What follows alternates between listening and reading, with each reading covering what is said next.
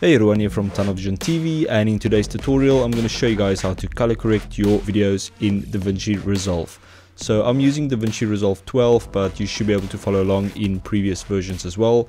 So first of all I'm going to drag my clip into the media pool and then here at the bottom I'll click on edit and then I'm going to drag my clip onto the timeline to automatically create a sequence. Just pull that to the front and then we're going to go to the color tab here at the bottom to get to all the color grading and color uh, correction tools. So the first thing um, that you want to do is you want to change your scopes here at the bottom and make sure they set to parade.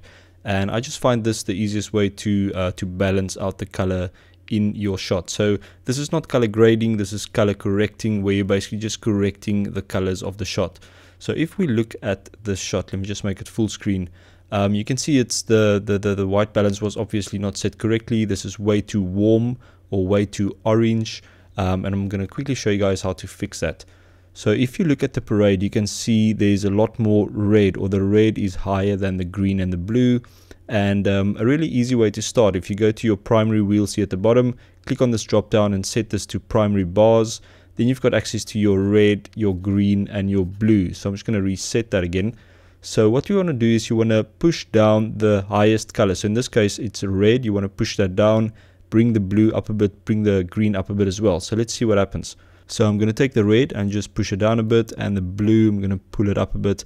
And I'm just going to try and balance it out, um, something like that. And I'm only looking at the middle section of this scope. I'm not worrying about the top or the bottom at the moment. I'll show you guys how to fix that soon. So just try and balance it out, something like that. That's looking pretty good. And um, then we're going to go back to our primary wheels and here we're going to use the lift the gamma and the gain. So basically your lift is the darker areas of your image. Gamma is basically your midtones and gain that will be the highlights in your uh, image. So here you can control the the bottom section the middle section and the top section uh, separately. So what you want to do is um, you want to try and get your the bottom section of your footage as close as possible to black. Obviously it's not going to be exactly the same for every uh, situation but in this case we've got some black in the image here at the bottom and then we've got the sky which is probably a little bit blown out. So if you look at the scope 0 is 100% black and right at the top you've got your 100% white. So we want to try and get this as close to black as possible.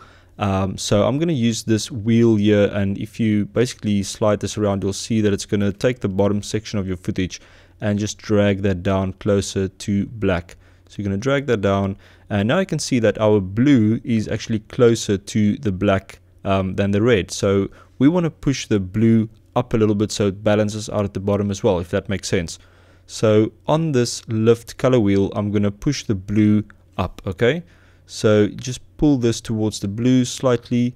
And if you keep your eye on this area, you can see that the blue is kind of being pulled back away from the black and try and balance it out. Obviously, if you need to take away some green, maybe pull it more towards uh, this way, opposite uh, direction as the green. So I'm just going to pull that, try and balance it. That's a bit too much. Maybe something like that. And then I'm just going to use this wheel again to pull everything closer to black. Okay, that's looking pretty good.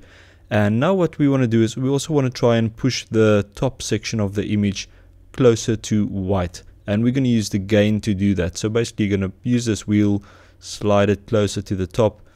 And as we get closer you can see that the red is a little bit closer to white than the green and the blue. So we want to pull the red back here. So what we're going to do we're not going to slide this towards the red. We're going to slide it in the opposite direction so towards this area here. So I'm just going to take this and slide it down. As you can see that red is actually dropping down a bit and then we can use this wheel to push everything closer to white. Okay so that's looking pretty cool. And uh, then we can give it some contrast just a little bit. And let's look at the results. I'm going to go into full screen with uh, shift f. And as you can see it's looking pretty cool. And then i can toggle with shift d. That's the before. You can see it's very orange very red and that's the corrected image so it's a huge difference and uh, really easy to do and obviously you're going to do this first before you're going to add your style or your color grading to your uh, video clip Cool, so I hope you guys enjoyed this quick color correction or color balancing tutorial. Give me a thumbs up if you enjoyed this one. And also remember to click on that subscribe button if you want to be notified of weekly tutorials. Thanks a lot for watching, do appreciate it, and I'll see you guys next time. Cheers, bye.